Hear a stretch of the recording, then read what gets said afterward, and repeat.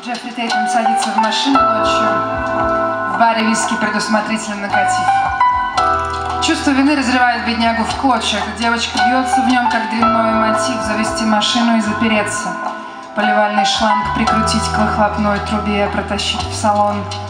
Я не знаю другого средства, чтобы не думать о ней, о смерти и о тебе. Джеффри нет них слабохарактерная бабенка, чтобы найти себе захлебнуться в нем. Просто у него есть жена.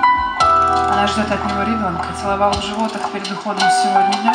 А теперь эта девочка, сработанная так тонко, что вот хоть горе оно все огнем. Его даже потряхивает легонько так, что он тянется за ремнем. Бэйби, бэйб, что мне делать с тобой такое? Скольких ты еще приводила в дом, скольких стоило горьких слез? Просто, чувств, просто чувствовать сладкий ужас и непокой, приезжать домой, пребываться, забываться сном лихорадочным и белесым. Просто думать, ты первая, я следующей строкой, просто об одном льнуть асфальтом мокрым к твоим колесам. Испариться, течь за тобой рекой, золотистым прозрачным дном, перекатом, плесом, затевать тебя в баре случайной курткой или рукой,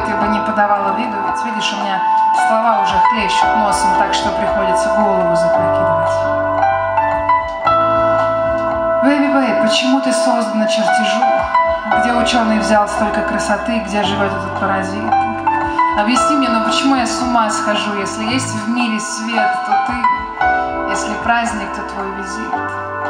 Baby, babe, я сейчас приеду и все скажу, я ей все скажу, и она мне не возразит.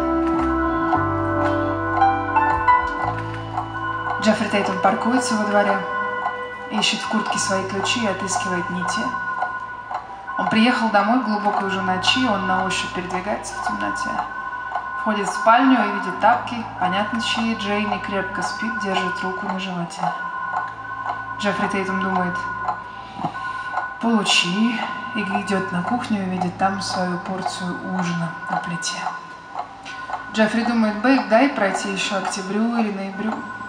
Вот она родит, я с ней непременно поговорю, я тебе клянусь, что поговорю. Джеффри курит и курит в кухне. Стоит и щурится на зарю.